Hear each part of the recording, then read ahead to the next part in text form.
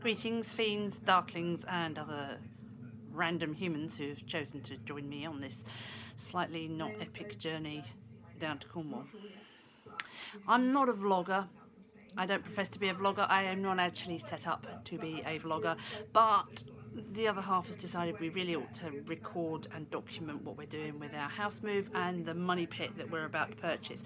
So first of all I'm going to apologise because in the background we have got Jamie and Shaaba rattling on and I really should have turned that off before I started. So anyway, the point being that we are almost at the point of sale, purchase, purchase, purchase because we are not buying no, start that again. We're not selling a house, we were renting. Um, and you'll have to forgive me because I'm feeling a bit spotty. I've got a cold sore. Um, and all of this is to do with stress. But the point being that um, we have nearly packed the house up. And for those of you that know us, um, there was a hell of a lot of books in that bookcase. It was double stacked, double depth. Um, and at some point in the future you'll actually get to see what we actually had. Um, the place does look like a bomb has gone off and I really don't know what else I'm doing. Um, if maybe if we do that and get out into the hallway, you can see that, oh my god, that, that's just the lounge. Um, and let's pop upstairs. You're not going to see the bedroom. We've got to keep some secrets here. Um, I, and I suppose this is kind of an accountability thread. Edmund Blair Leighton, I think. I can't remember maybe not one of my favourite paintings and I should remember who it is. Um, we do have a bit of a a bit of a hair thing going on and a hair thing going on. Um, this is my office craft room general hellhole. Um, not using it as much as I used to. Shiny head and the shelves where it says, yes, that's a World War II helmet. World War One. And again, mostly packed up, but still looking a little bit of a mess. It's got to that kind of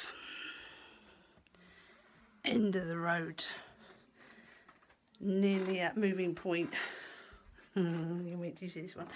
Nearly at moving point where the house is full of a lot of little bits and pieces. And the the baby bat, except she's not really a baby bat anymore. At this point I should add that we've taken about four van oats down to Cornwall with us. So this is a really, really short vlog I'm going to sit on the stairs. Um, not least because then you won't hear what's going on with Jamie and Shaaba downstairs. I think they're talking weddings. Um,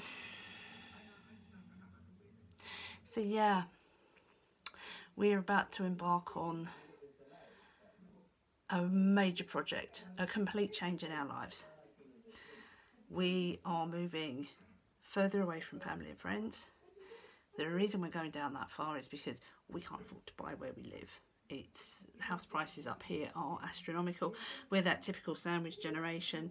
We are both from marriages that have relationships that didn't go quite so well. Um, we don't have a property to sell. Having said that though, we managed to get ourselves a property that is um, actually not bad for the money. Okay, it's a money pit. Think we even have to replace the roof on this one at some point. But the house has three bedrooms, it's semi-detached, it's actually got off-road parking, which in the area we're moving to in Cornwall is like gold dust. It's got a yard rather than a garden, but um, it is accessible from the front of the house, also like gold dust. Um, and it's a blank canvas for us to work from. We're about three miles from the sea. We have a pub sort of diagonally opposite the house. We have a pub just around the corner from the house which is really bizarre because we don't tend to go to the pub very often. Um, and just about 50 yards from our front door there's a corner shop where we can pick up the papers, milk, whatever we need and there's even a little post box outside and there's a bus that runs from where we live, it starts further down the road in Penzance that runs from where we live through town and into Truro. So we're about to start this amazing adventure and whilst I've not documented the first part of it, the house hunting, the putting the offer, the starting to pack the house up, we're now at the point where it's almost happening. This Friday, in two days' time, we should, all being well and good, touch wood, all being well and good, we should complete and then we will own our first house together. Now, David and I have been together about nine years and it's it's a it's a step forward. Finally, it's a step forward. Um, Little Miss B, Morti Junior, is um, she's now at uni. She's at uni in Exeter, and uh, she will be sort of joining us for some of this journey. Um, I don't know quite yet how she's going to feel about appearing on camera, so she may do, she may not. She's a little bit camera shy. She's a bit sick of me taking photos. I'm definitely the sort of person who normally takes photos rather than video.